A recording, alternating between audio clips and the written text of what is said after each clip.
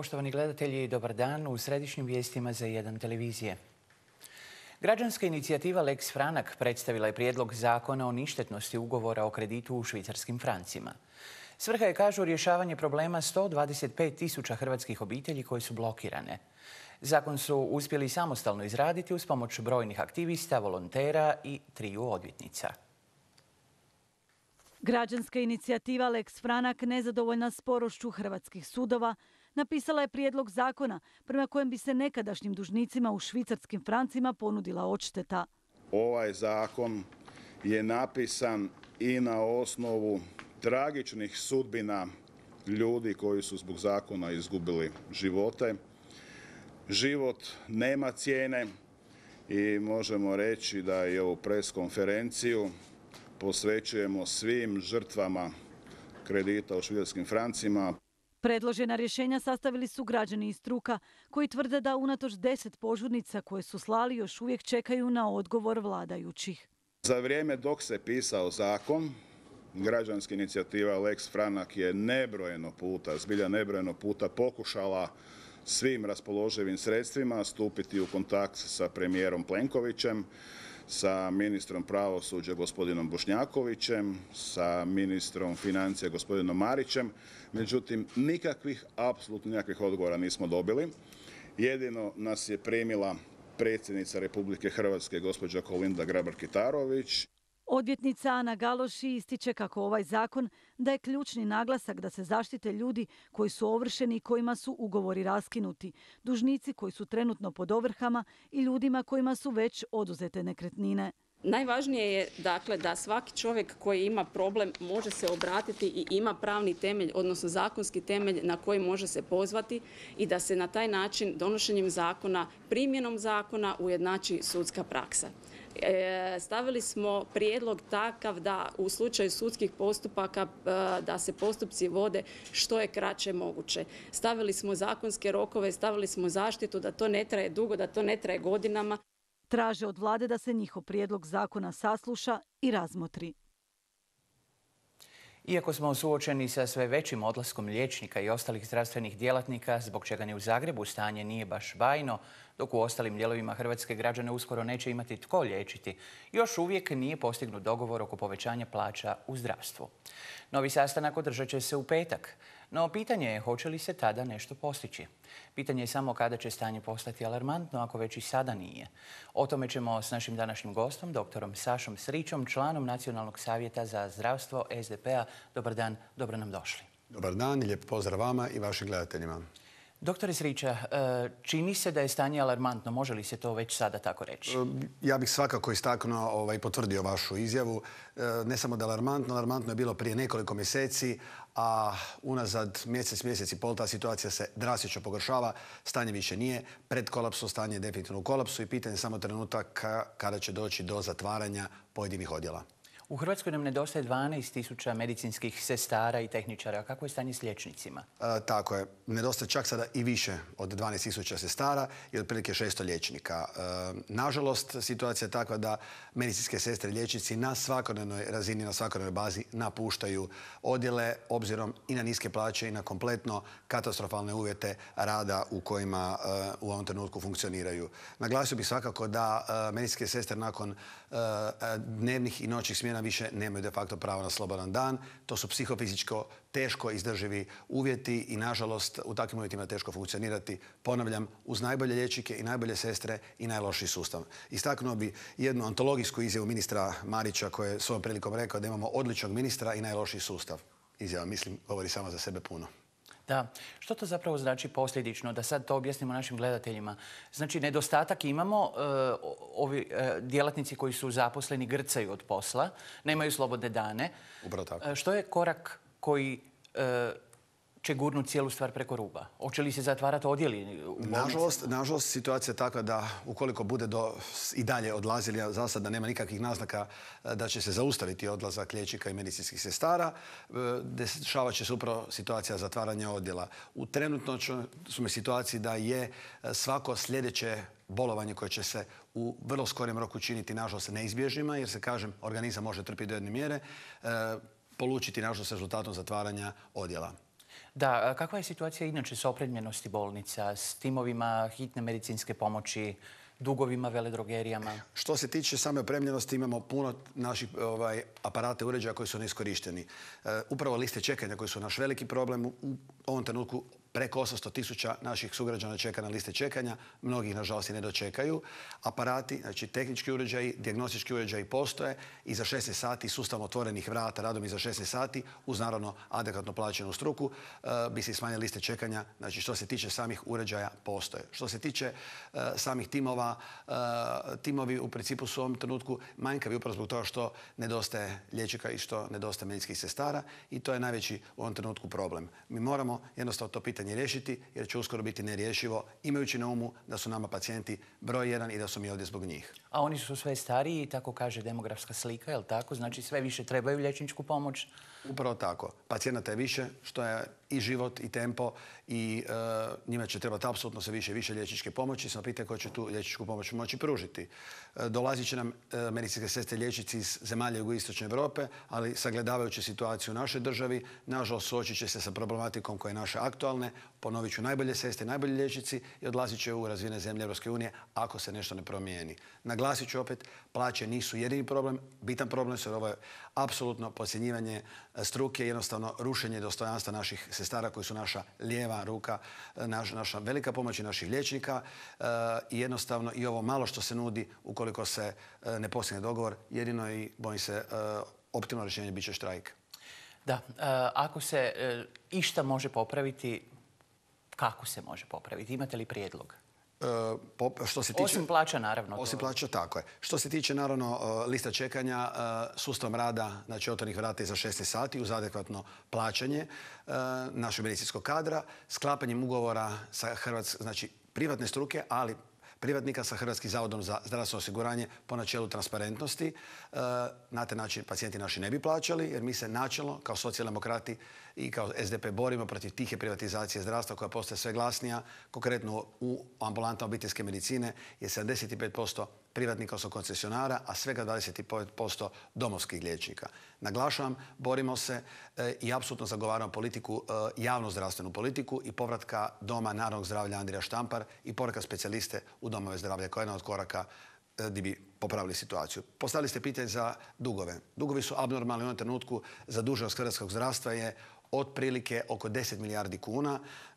Dospjeli dug je 3,8 8229 milijardi kuna uz naravno dug prema veledrogerijama koji je iznosio u svibnju 2,6 milijardi kuna, sada iznosi nešto malo više od 3,2 milijarde kuna, a veledrogerije koje su beskreno strpljive bile, nažalost prijete obustavom isporuke lijekova, a u vrlo bliskoj budućnosti nastali se tako i tužbama prema Europskoj komisiji. E, s obzirom da se dosta dugo već priča o ovoj, problematici, e, nastupate i vi osobno često u medijima. Imate li dojam da aktualna vlast ima sluha za ove probleme? Nažalost, nema. Nažalost, potpuno nema sluha za ovu problematiku. E, kažem, počeši sa plaćama, kolektivni ugovori potpisali su svi osim naše struke. Mislim, uz dužno poštovanje prema svim strukama, mi kao socijaldemokrati narod tako i razmišljamo. Mislim da stup svega je hrvatsko zdravstvo koje je apsolutno pocijenjeno u svakom pogledu. Kakve su razlike u plaćama e, u Hrvatskoj liječničkim i e, naravno plaćama medicinskih sestara i tehničara u Hrvatskoj i ostatku Europe? Ogromni. Znači, e, medicinska sestra sa ogromnim brojem dežurstava u Hrvatskoj je plaća otprilike oko 7 maksimalno uz prekomjerno broj dežurstava i višu stručnu spremu oko 8.000 kuna, u EU 2.500 eura. Plaća liječnika specijalista, subspecijalista u osnovici otprilike oko 9.500 do maksimalno 10.000, u EU oko 4.000 eura. Eto. A u jugoistočnoj Europi spominjali ste da nama dolaze liječnici i osoblje iz jugoistočne Europe ili je to nekakav korak? To je nekakav korak koji će nas uskoro očekivati. Nisam siguran da će biti i oni zainteresirani. Možda će doći u tranzitu kod nas, a možda će nas samo onako lijepo velikim korakom preskočiti. Dakle, u petak je sastanak s resornim ministrom. Što očekujete od sastanka? U prvoj rudni pregovora, aktualno danas rudni pregovora, nije se ništa previše pomaklo sa mrtve točke, osim dogovorit ćemo se, pregovarat ćemo. Mislim da sindikati moraju ostati pri ovom minimumu, da se ne smije popuštati, da kompromisa nema. E, nisam pretjerani optimist u ovom trenutku. Sačekajmo petak pa ćemo vidjeti. Doktore Svića, e, ja vam želim puno uspjeha. Hvala vam što ste nam gostovali u vijestima. Hvala i vama.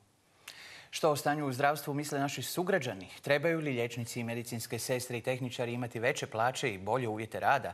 Pogledajte u nastavku. Slijedi naš glas Zagrebčana. Liječnici i medicinske sestre traže povećanje plaća. Ako danas ne bude postignut dogovor s ministarstvom, najavili su opći štrajk od 15. rujna.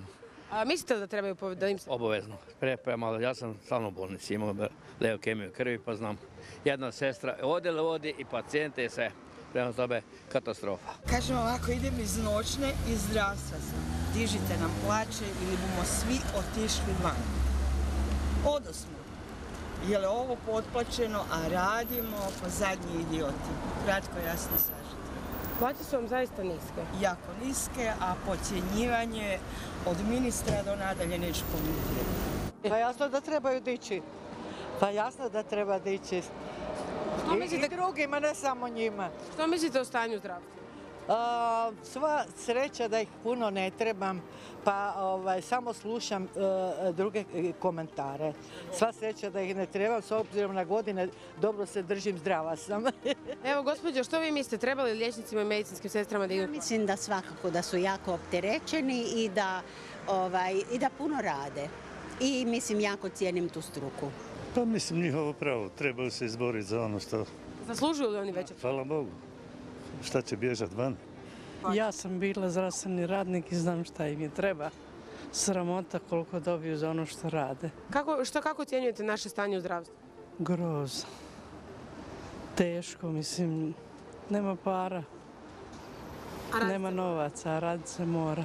Pa plaće im se trebaju dignuti, ali što se tiče općeg štrajka, to, to ne znam kako će to proći, s obzirom na to da je populacija dosta bolesna i da zaista nam trebaju i liječnici i medicinske sestre. Ali da im se treba dignuti plaća, treba. I to, ako mene pitate, trostruko. Jer ono što oni daju za nas, to, to se čak ne može niti platiti. Ja sam trenutno u situaciji da sticajem okolnosti, oprostite, vidim kako je to Treba im se dignuti plaće, trebaju im se poboljšati životni uvjeti, trebaju, čujte, trebaju nam. Normalno, pa one najveći teret imaju medicinske sestre. Ja sam bil ove godine pet puta u bolnici ležalo u Merkuru. One su naj, naj, naj, naj. Ministar graditeljstva Predrag Štromar i udruge s jedne, a Milan Bandić s druge strane. Tako se trenutno može opisati situacija oko izmjena i dopuna GUP-a.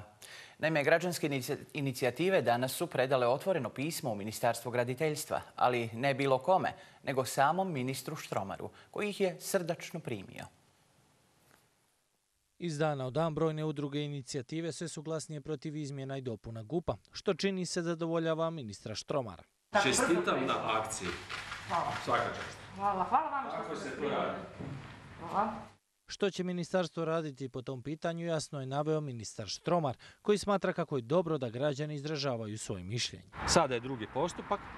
Mi ćemo kad dođe prijedlog GUP-a kod nas pregledati, naše stručne službe će analizirati da li je sve u skladu sa zakonima, sa zakonskim procedurama i donijet ćemo naše mišljenje. A što im je sve sporno kod izmjena i dopuna GUP-a iznijelo je 11 udruga, poput Hrvatske udruge za zaštitu od elektromagnetnog zračenja, u kojoj smatraju da će ove izmjene GUP-a biti jako štetne za građane, jer će tvrde teleoperateri moći postavljati bazne stanice gdje god budu željeli. Trenutno više od 90% baznih stanica nelegalno postavljeno, odnosno one su protivne postojećim prostornim planovima. E, Ovim pokušajem izmjene GUP-a na ovakav način kako je ona predložena bi se ta situacija koja je već e, nelegalna ne samo zbog GUP-a nego i zbog e, prethodnih izmjena zakona o gradnji zapravo legalizirali i teleoperateri bi mogli i dalje nesmetano postavljati bazne stanice na način kako to se danas radi, dakle da se postavljaju pod prozorima ljudima. No da nije uključen samo Donji grad, nego i cijela podsemenska zona, još jednom ponavljaju iz zelenog odreda, gdje tvrde da će izmjena GUP-a pogodovati krupnom kapitalu, a ne prirodi, koja će se tvrde nastaviti uništavati. Sa ovom izmjenom GUP-a ta posjemenska zona bi jako lako mogla postati građevinska zona, a mislimo, imamo neke indicije da bi se to i moglo dogoditi, jer su neki ovako prilično dobro stojeći o, financijeri zagrebački već pokupovali terene u poslijemenskoj zoni. Što u konačnici znači daljnju devastaciju šuma, daljnju rasprodaju šuma i betonizaciju. Čini se kako je osim udrugama do prirode stalo i ministru Štromaru, koji je predstavnicima udruga dao savjet što trebaju napraviti. Cijela ova ekipa sa istim otvorenim pismom, samo malo drugčije postavljenim, ide na ministarstvo uprave, jer e, sam gospodin Štromar nam je to e, savjetovao s obzirom da se veliki dio prostornog plana naravno tiče lokalnih jedinica i lokalne samouprave, e, u što nas gospođa Sanja Jerković, pročelnica Gradskog ureda za strategiju, u par navrata, u par navrata izjavila da nije istina. Što istine tko će pobijediti u ovoj borbi, Bandić ili s druge strane ministar Štromar i udruge, vidjet ćemo sredinom rujna, kada bi se u GUP-u trebalo odlučivati na sjednici Skupštine. U nastavku pogledajte što smo vam još pripremili. U gradu Karlovcu je objavljen javni poziv udrugama za odabir programske scheme adventskih događanja za ovu godinu. Provedba programa planira se u prosincu 2019. i siječnju 2020. godine. Program treba uključivati zabavne, kulturne, obrazovne, umjetničke, animacijske i slične sadržaje, te popratno uključenu prodaju i ugostiteljsku ponudu s naglašenim vrijednostima prigodnog i lokalnog značaja. Sve aktivnosti programa trebaju se odvijati na području gradske četvrti Zvijezda.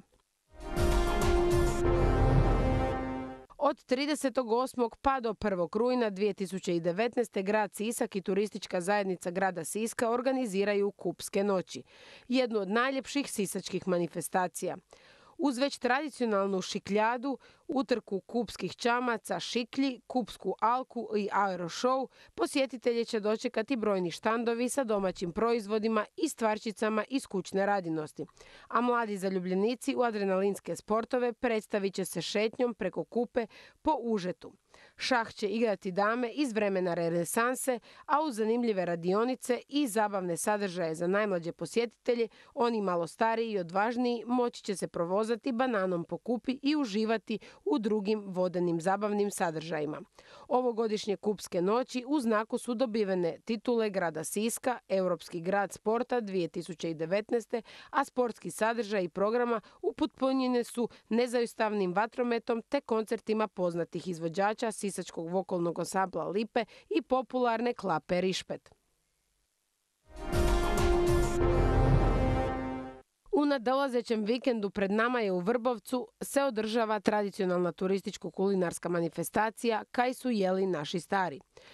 Vrbovečka pera i gibanica te mnogobrojne delicije s kukuruzom samo su dio raznovrsne ponude lokalnih gastronomskih specijaliteta kojima će Vrbovčani posjetiti svoje mnogobrojne goste na to kaj su jeli naši stari. Osim jela i pića spravljenih po starinskim recepturama za posjetitelje je organiziran i bogat kulturno-umjetnički zabavni program radionice i izložbe, kazališne predstave i sportska natjecanja. Dobra vijest. Porasla je neto plaća u Zagrebu. Za svibanj ove godine iznosila je 7546 kuna. To je za 0,99% više nego za travanj, a za 2,96% više nego za svibanj prošle godine. Najviše zarađuju radnici u vađenju sirove nafte i plina, a najmanje u proizvodnju odjeće. Najviša neto plaća u visini od 22 tisuće kuna isplaćena je u djelatnostima vađenja sirove nafte i prirodnog plina. U proizvodnji naftnih proizvoda prosjek je iznosio 18 tisuća kuna, a na trećem mjestu su plaće u pomoćnim uslužnim djelatnostima u rudarstvu oko 15 tisuća kuna. Zagrebačka statistika najnižu prosječnu netu plaću za svibanj zabilježila je u proizvodnji metala 4182 kune, proizvodnji odjeće 4187 kuna, te u ostalim osobnim uslužnim djelatnostima. Slijedi prosječna neto plaća u proizvodnji kože i srodnih proizvoda, te u djelatnosti pripreme i usluživanja hrane i pića. Porasla je i prosječna bruto plaća prema podacima Odjela za statistiku Gradskog ureda za strategijsko planiranje i razvoja grada. Prosječna bruto plaća za svibanj u Zagrebu iznosila 10.636 kuna. Zabilježen je porast za 1% u odnosu na plaću za travanj, te 3% u odnosu na plaću za svibanj prošle godine.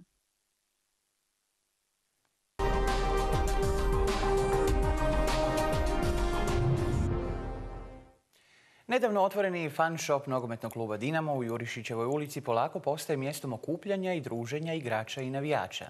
Tako je sinoć nekoliko stotina ljudi dočekalo igrače Dinama pred odlučujuće utakmice za ulazak u grupnu fazu Lige prvaka protiv norveškog Rosenburga.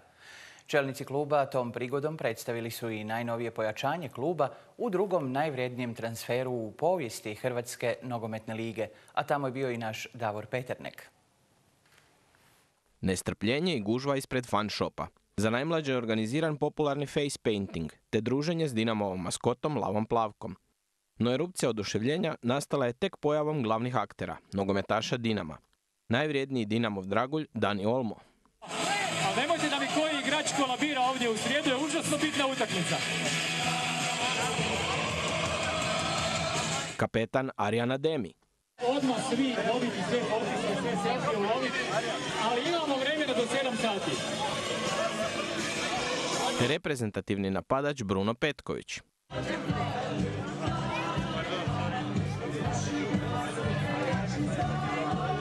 Samo su neki koji su strpljivo davali autograme i pozirali za selfije.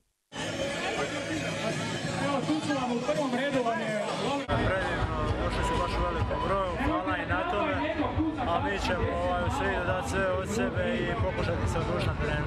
Sigurno da je cilj svakog igrača da je u očima svojih navijača nešto izuzetno i nešto extraordinary, što bi se reklo. Radimo na tome i radimo na tome da, da momčad bude još bolja, da mi igramo pojedinci još bolje i da dosegnemo, da dosegnemo najveći mogući nivo, a to je Liga prvaka. Igrači redom ističu kako je sav fokus na, kako to često volimo nazivati, dvije povijesne utakmice protiv Rosenburga. Svjesni su kvalitete koju Dinamo ima u odnosu na norveškog prvaka, no svejedno se utakmicama pristupa na pravi način. Sigurno teška utakmica.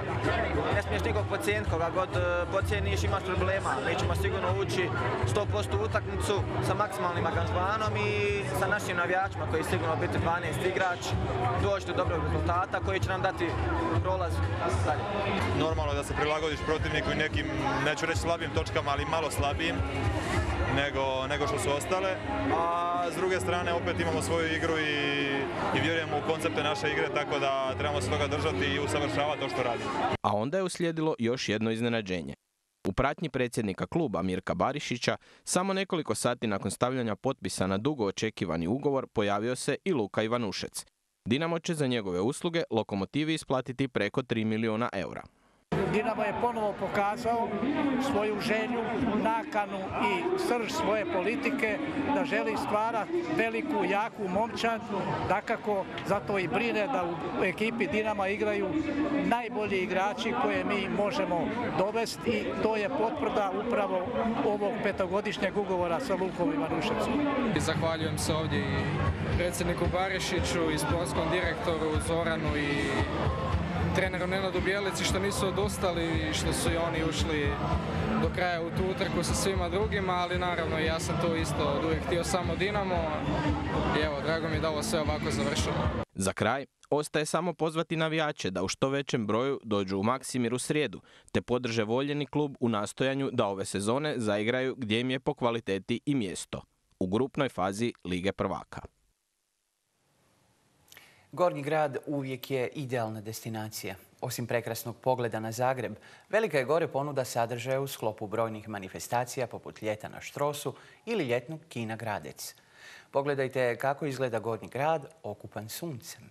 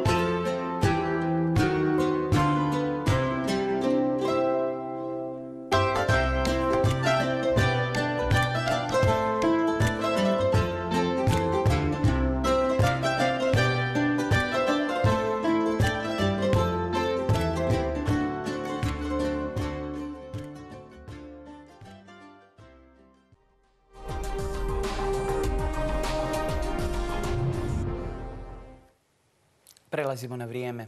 Do kraja dana sunčano i vruće. Vjetar slab, a najviša temperatura zraka do 33 Celzijeva stupnja. Tijekom večeri i noći nešto niža. Bioprognoza će i dalje biti relativno nepovoljna. Pogledajmo sada i vremensku prognozu za srijedu. U Zagrebu će prevladavati djelomično sunčano vrijeme uz više oblaka u drugom dijelu dana. Zapuhat će umjeren sjeveroistočni vjetar. Jutro ugodno uz temperaturu zraka od 19 do 23, dok će dnevna temperatura biti između 27 i 29 Celzijevih stupnjeva. Bioprognoza će biti relativno nepovoljna. I bilo je to sve u našim središnjim vijestima. One večernje na rasporedu su u 21 sat i 10 minuta. Ostanite i dalje uz program za jedan televizije. Ugodan nastavak dana. Doviđenja.